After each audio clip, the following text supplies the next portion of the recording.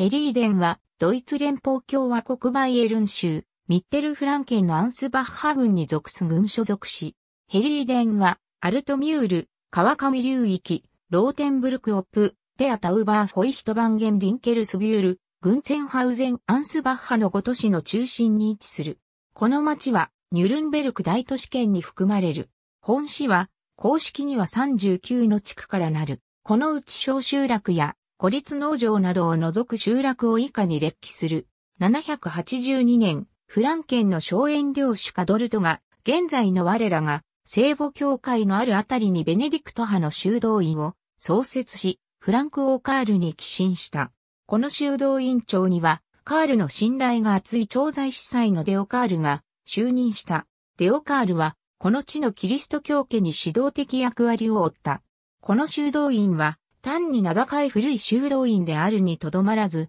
一方は、アルトミュール川の水運路に面し、もう一方を、ドーナベルトフィルト間の通商路に面するという、交通の要衝に位置してもいた。だが、この修道院は、その作業の多くを近隣地域の開墾に費やした。町の名前の語源は、ハッサラウドで、これは荒れ地を開墾、開拓するという意味であり、この事実は、修道士らの主な使命が土地の開墾にあったことをよく示している。その後、地名はハッサラウド、ついでヘレンライドと変化し、近代になってヘリダンという名になった。791年にはすでに修道院は広範な土地を有しており、現在は有効都市になっているメルクや、同じくニーダーエステライヒのグリュンツやピーラハもこれに含まれた。793年にはカール大帝がヘリーデンのデオカールの元へ訪れた。796年に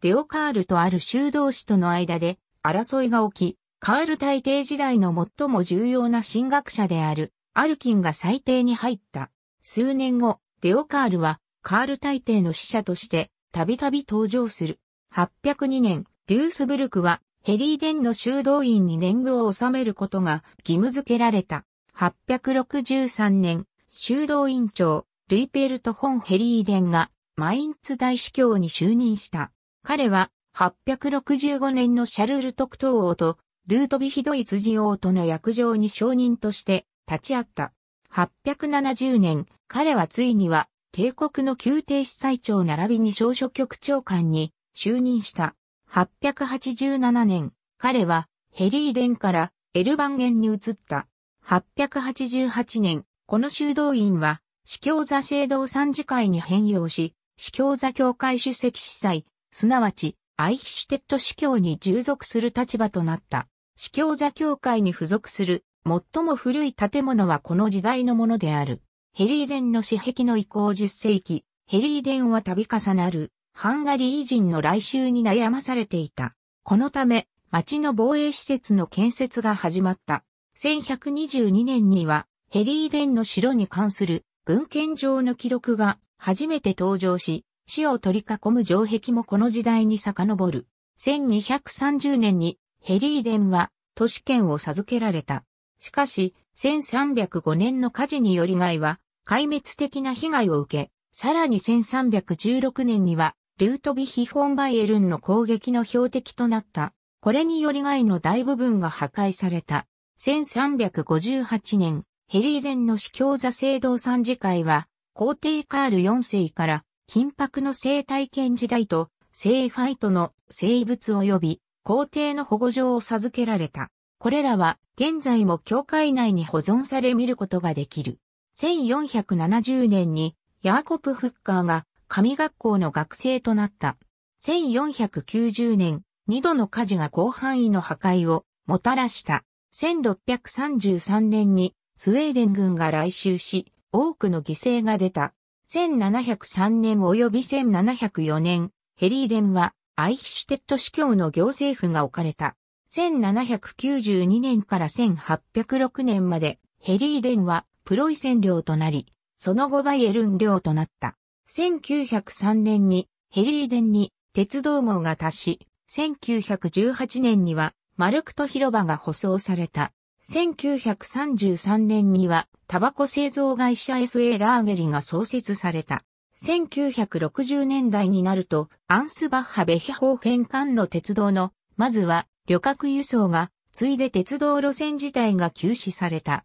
採算が取れなかった。この路線は、後に撤去されてしまった。市議会は21議席からなる。赤字に、まっすぐに座った金のうさぎ。その前足で銀の司教杖を持っている。世俗建築、編集コウノトリの塔とアルトミュール橋コウノトリの塔コウノトリの塔は、アルトミュール川流域では、コウノトリが巣をかける最後の建築物である。この塔は、1316年にルートビヒ・フォンバイエルンによって破壊された後、1340年に、司教シェンクフォン・ライヒエネックによって建造された。塔には通行のため、アーチ型の門が設けられている。石像のアルトミュール橋アルトミュール側に現在かかる石橋は1711年に建造された。その前身は古く、836年には橋が架けられていたことが文献に記録されている。これは文献で証明できるミッテルフランケンで最も古い橋である。現在この橋は原動機付き車両が通行でき、コウノトリの塔をくぐって町に入るが、人や自転車は隣接する小橋を通り、市壁をくぐって旧市街に入ることができる。球場館球場館12世紀にヘリーデンの領主館として建設された。1316年にルートビヒ・フォンバイエルンがこれを破壊し、1342年に再建された。この再建された建物も、1633年にスウェーデン軍により海人に返した。1685年から1717年にその跡地に司教領主のビール醸造所が建設された。1802年以降、ここは市営の醸造所となっている。司教座教会主席司祭の巨漢市立図書館に利用されている建造物は、1492年に建てられた、司教座教会主席司祭の事務所研究館である。1988年以降この建物は、市の所有物となっている。旧世領院現在、老人及び障害者社会福祉施設がある場所は、1476年には、すでに世領院が建設された場所である。最初の建物は、1490年のヘリーデン、火災で焼け落ち、その後建てられた建造物も1633年にスウェーデン軍によって破壊された。それでもセ領院は町の同じ場所に再建された。1840年からはホイヒトバンゲン軍のコレラ隔離施設として用いられ、1884年から1979年までは私立病院として用いられた。正面砦正面砦正面砦は四角形の平面を持つ守備塔を起源とする。1415年から1429年までの間に半円形の全面が増築された。この構造の方が大砲による攻撃に強いと考えられたのである。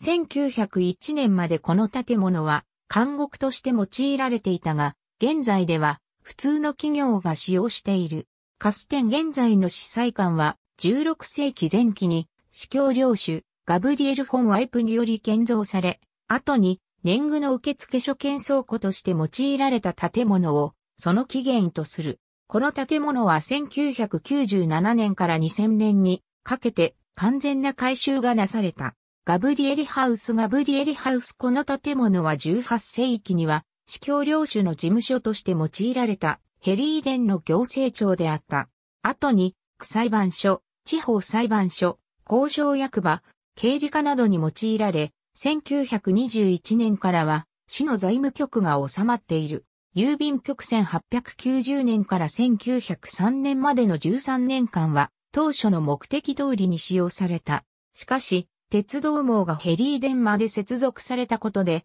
この施設は不要になってしまった。ブロトハウスブロトハウスは1835年から1944年までラートハウスとして用いられていた。1752年に現在の建物ができたのだが、その壁には前身の建物に付けられていた、司教座教会主席司祭、ベルンハルト・アルツァトの紋章が付けられている。現在の市庁舎1945年から市庁舎として使われている建物は、1901年にバイエルン王国の区裁判所として建設されたものである。この建物の前の名板は戦争犠牲者のためのものである。これとは別に三次会教会の近くにも戦争記念碑が立っている。司祭官司祭官ガブリエリの設計、マウリツィオ・ペデッティの内装による司祭官は1806年まで主席司祭の館として用いられていた建物である。